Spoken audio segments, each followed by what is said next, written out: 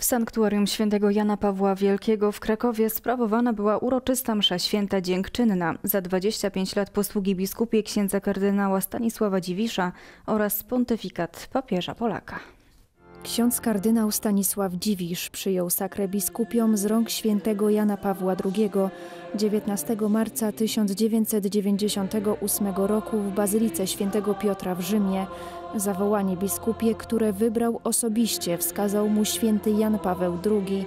Zawołanie sursum corda, czyli w górę serca. Służysz nadal temu papieżowi, nieustannie pamiętając o nim i troszcząc się o jego świetlaną pamięć pośród nas, co niekiedy przychodzi Ci pieczętować nie tylko wielką radością, ale i osobistym cierpieniem.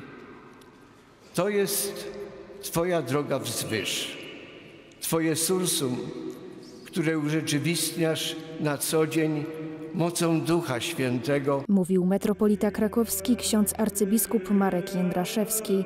W sanktuarium świętego Jana Pawła II Wielkiego w Krakowie sprawowana była uroczysta msza święta dziękczynna.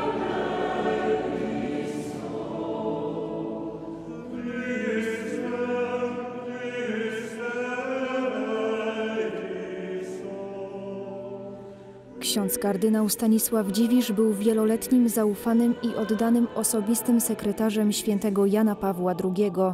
Bóg wyznaczył ci wielkie zadanie. Służyłeś papieżowi, który tak wiele zrobił dla Kościoła, dla Polski, dla Europy i świata. Mówił w trakcie homilii arcybiskup senior archidiecezji gnieźnieńskiej Józef Kowalczyk. Byłeś mu oddany bez reszty. Zawsze z wielkim podziwem patrzyliśmy na Twoją wierność i oddanie świętemu papieżowi.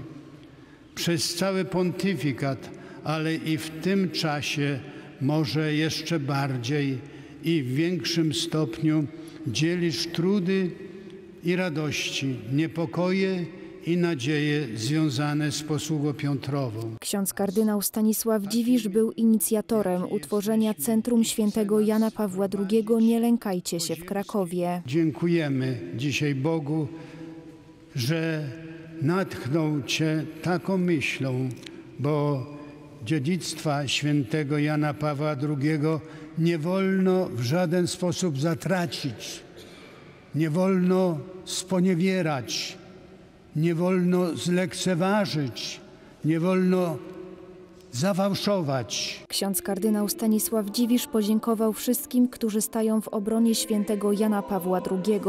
Kilka dni temu minęła dziewiąta rocznica jego kanonizacji. Publiczne manifestacje w wielu polskich miastach pokazały, że naród myśli inaczej.